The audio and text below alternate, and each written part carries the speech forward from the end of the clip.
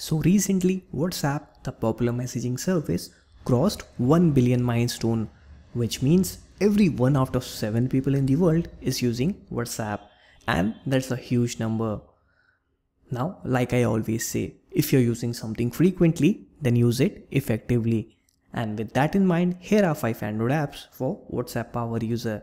So let's get started.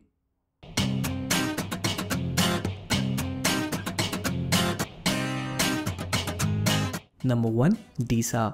Now these days many people use WhatsApp for both professional and personal use.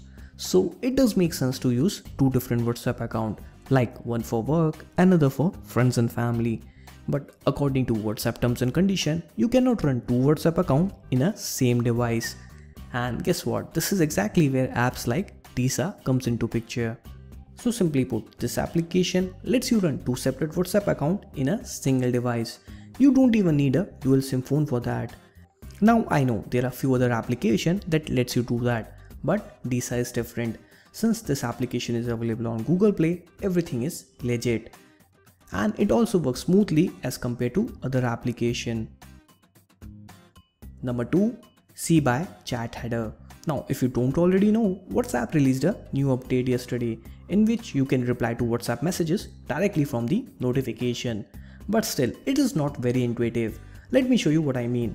First, you have to pull down the notification tray and then tap on the notification to reply it. However, if you have a rooted Android, then I suggest you go for the applications like Seebye Chat Header. So basically what it does is, it makes your WhatsApp like a Facebook Messenger. That is, you can access your WhatsApp conversation from any app. So once you tap on the header, you can see your chat history and not just that, you can even reply to it from there without even opening the WhatsApp app. And the best part is when you're using this application, your last seen timestamp won't get updated since you're not opening WhatsApp anyway. And finally, when you're done, simply drag and drop the header to the small hole and you will exit the application just like we do in Facebook Messenger. Now tell me, which screen are you going to prefer when you are making a call? Obviously the one with the contact photo, right? Since it is more personal.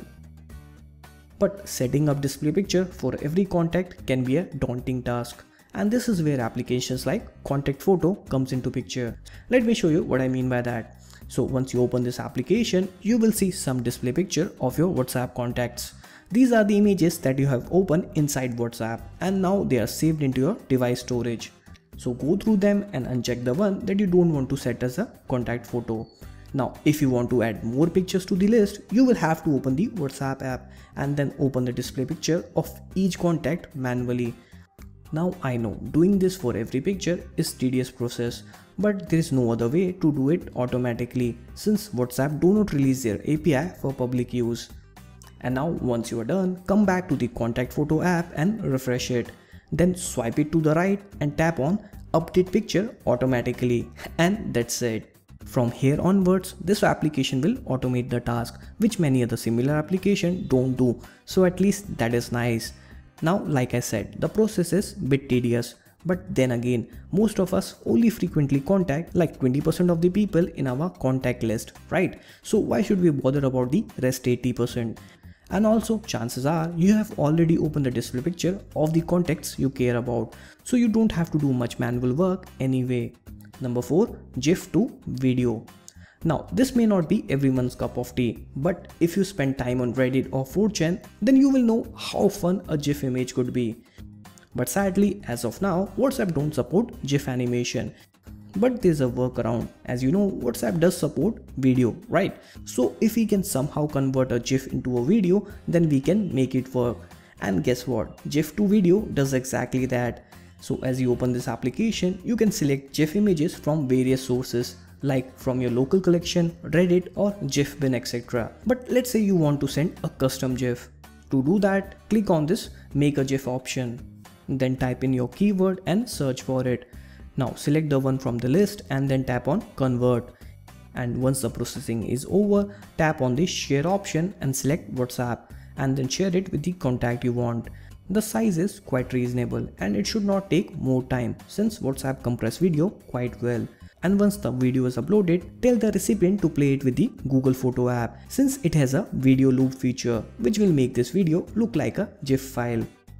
Number 5. Magic Cleaner Now I don't know if this is an Indian thing or if this happens worldwide. But one big problem about WhatsApp is that people on WhatsApp groups are constantly forwarding spam images.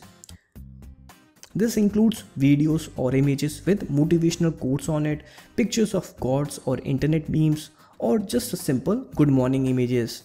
Now, I don't have anything against these people, but the problem is, over time these images start taking your device memory. Now in that case, what an average user will do is, they start deleting images, right?